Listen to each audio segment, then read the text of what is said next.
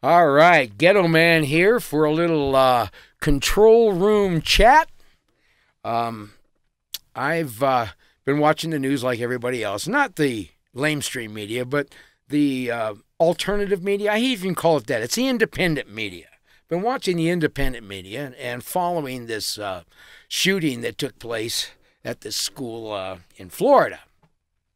Um, I guess just recently, the there's been evidence that the police department stood down, that they didn't even enter the building and uh, and try to, uh, you know, uh, stop this madman from killing the children within the school. They sat outside for it was minutes, uh, ten minutes, maybe maybe longer.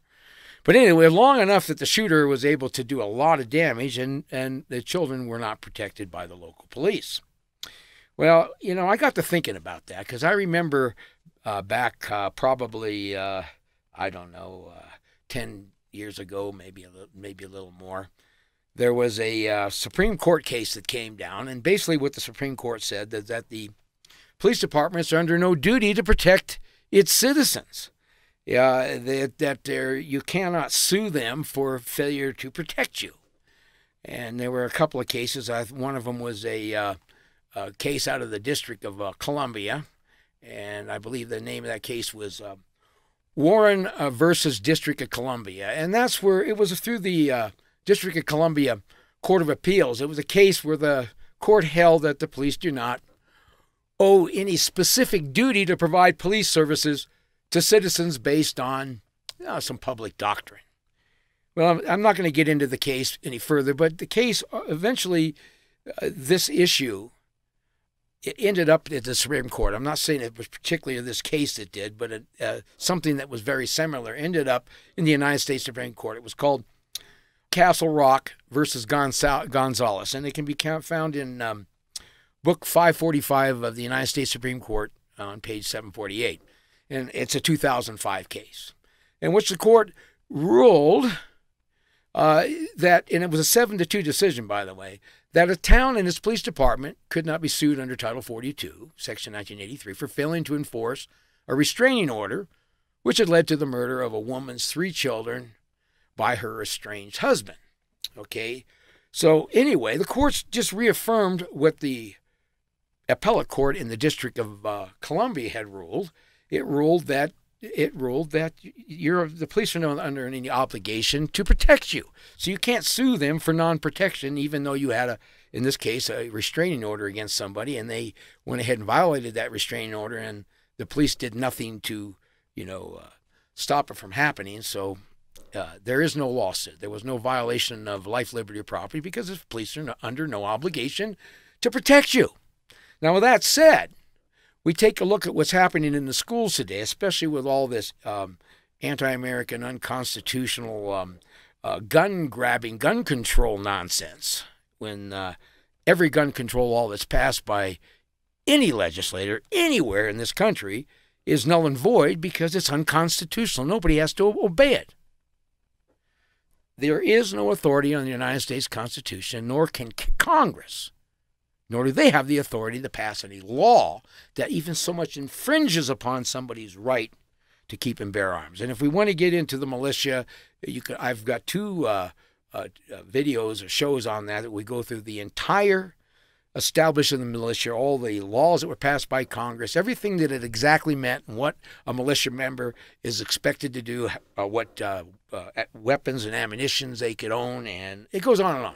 You can I have all that information. I realize it's long, but in order to really understand how the Second Amendment works, you really need to go through all this history. So if if you would, just I recommend that you watch on uh, BitChute my uh, two videos on the Second Amendment, Part One and Part Two.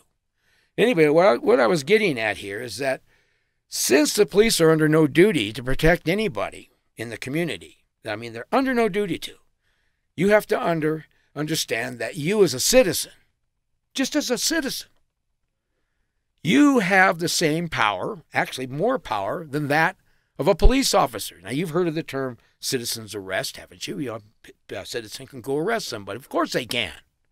If you see somebody violating the law, you have just as much power as a police officer to stop that person from violating the law. You have a right to arrest him. You have a right to detain him. detain him and turn him over to the police or whatever you have to do to uh, you make sure that this person, you know, sees justice. Okay, so understanding that, don't you think it's time to really understand why they're trying to take away our guns? You know, they're, they want us to have no protection at all. If you want to protect your children in school, then you're going to go ahead and you're going to have to purchase a weapon and you're going to have to protect the children yourself. You're going to have to find some way of protecting those children in the school systems.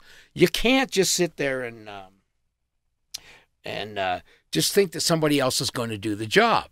Now, whether a teacher wants to carry a, a gun or not, that's their choice. But if you want to be protected in a free society, then you better retain your claws. You know, it's like the it's like when I listen to these gun control people. I mean, the, the insanity, it's it's so beyond insanity. I can't comprehend it. It's like them saying what we're going to do to protect people from grizzly bears, we're going to declaw all the bears. And mountain lions, we're going to cut off all their claws and pull all their teeth. And that way we'll have a safer environment for hikers and stuff. It doesn't matter that the the animals can't protect themselves anymore. It's just it's safer for everybody else. It's bullshit. You take away somebody's claws and they cannot defend themselves. And since the government has no duty to defend you or protect you, then it's up to you to provide protection for yourself and your family and your community. And it's about time to tell these gun control advocates to take a hike. This is crazy. These people are anti American extremists. They want to overthrow this country. The only reason why they want to take our arms is they want to disarm you so they can have their way with you. And the school shooting in Florida is a prime example of that. There was no protection in that school. The police department, no protection. And that's why the police police chief or whatever he is, the sheriff, or um, uh, he's not going to stand down because, according to the Supreme Court of the United States, he didn't do anything that was illegal. I'm the ghetto man. If you're politically correct, then you're legally wrong. And if you're not part of the solution, then you are the problem. Thank you for watching. Please subscribe and please share.